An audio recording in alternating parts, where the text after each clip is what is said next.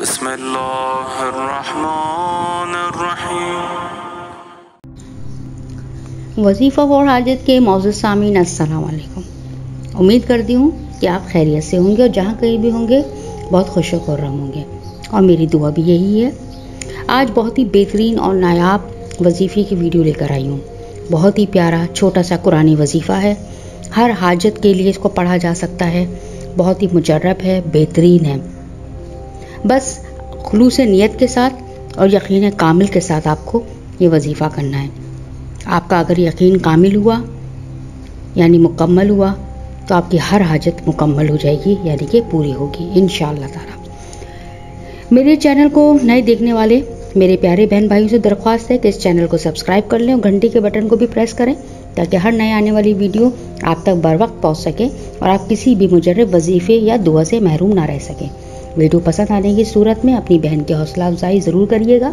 इसके लिए आपको वीडियो को लाइक करना होगा। और वीडियो कैसी लगी या आपको किसी भी मसले के लिए कोई वजीफ़ा चाहिए तो कमेंट बॉक्स में आप मुझे आगाह कर सकते हैं। सदका जारिया समझकर और अमल बिलमारूफ के मकसद को पूरा करते हुए वीडियो को शेयर ज़रूर करिएगा।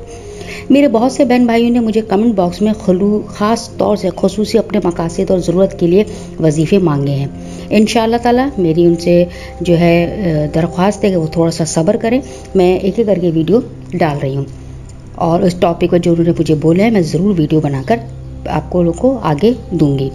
आज का वजीफ़ा भी मेरे एक मोमिन भाई की फरमाइश पर ही बताया जा रहा है, क्योंकि उन्होंने बहुत इसरार किया था कि वो बहुत बिज़ी होते हैं कारोबार वगैरह के सिलसिले में तो वो कोई छोटा सा अमल चाहते हैं अपने घर में खैर बरकत के लिए, सुकून के लिए, खुशहाली के लिए, तरक्की के लिए बच्चों के फर्मा बरदारी के लिए, गर्ज हर चीज़ के लिए।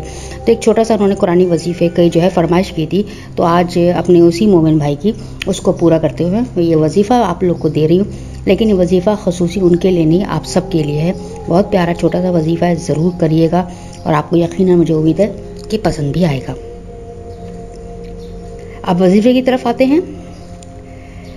आपने करना यह है कि हर रोज़ नमाज़ मगरब के बाद ये वजीफ़ा नमाज़ मगरब के बात करने का है कि नमाज़ मगरब जब आप पढ़ लें, उससे फारिग हो जाएँ, सुकून से बैठें, तस्वीर फातमा जहरा पढ़ें।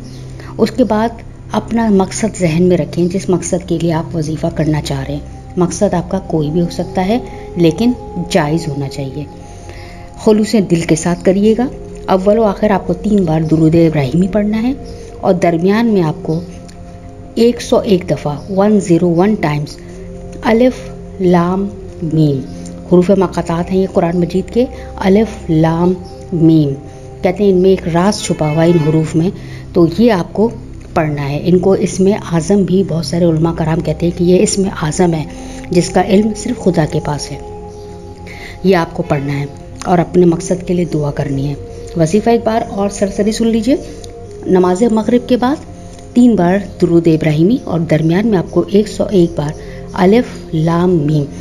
अलिफ लाम मीम आपको सुकून के साथ पढ़ना है, जल्दबाजी नहीं करनी है कि भाग रहे अलिफ अलिफ लामीम ऐसे नहीं पढ़ना, आराम से, सुकून से पढ़िए। थोड़ा सा वक्त अपने आप को और अपने खुदा को भी दीजिएगा। और उसके बाद फिर आप अपने मुकद्दर बदलते हुए देखिएगा, अपने हालात बदलते हुए देखिएगा। उम्मीद करती हूँ कि ये छोटी सी वीडियो आपको पसंद आई होगी छोटा सा अमल भी पसंद आया होगा। तो अगली वीडियो तक के लिए मुझे इजाज़त दीजिए। अल्लाह हाफिज़।